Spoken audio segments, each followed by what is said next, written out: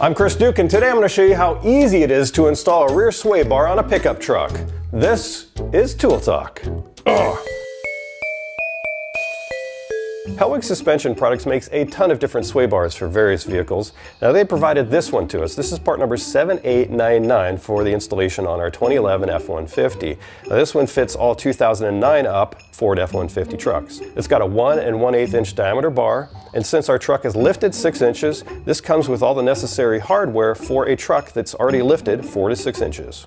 The tools you'll need are very basic. We use joint pliers to aid with bushing installation, wrenches sizes 5 8 11 16 3 quarter, and 7 8 ratchets and sockets size 3 quarter inch deep, 5 8 inch deep, and 3 quarter inch short. Install the threaded plates inside the rear shock cross members. Then attach the clevis to that threaded plate using the bolts provided. After lubricating the hourglass shaped bushings with the supplied lubricant, insert them into the end links, then install the metal sleeves.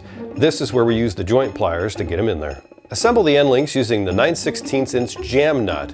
You want to leave this loose as we'll have to adjust it later. Install the end links to the clevis that you just installed using the provided hardware.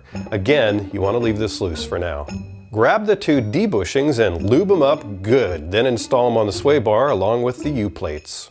Attach the sway bar's U-plates to the supplied U-bolts over the axle, and again, you want to leave everything loose.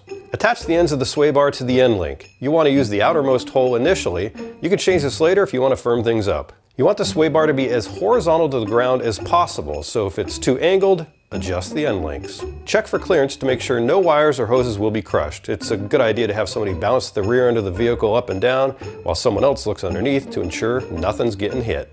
Now the final step is to torque everything down per the torque specs of the installation instructions, and it's not a bad idea to check everything again after about a week of driving around. Well there you have it, a very simple bolt-on solution to give your vehicle more load and sway control. Doesn't require any welding, any cutting, drilling, or any other weird fabrication to get it installed because it just mounts up into factory locations and the installation is pretty quick. You need some tools, but they give you everything else. It's also one of those products that you notice the benefits of immediately, whether you're just pulling out of your driveway or turning a corner or swerving to avoid an obstacle on the road or towing.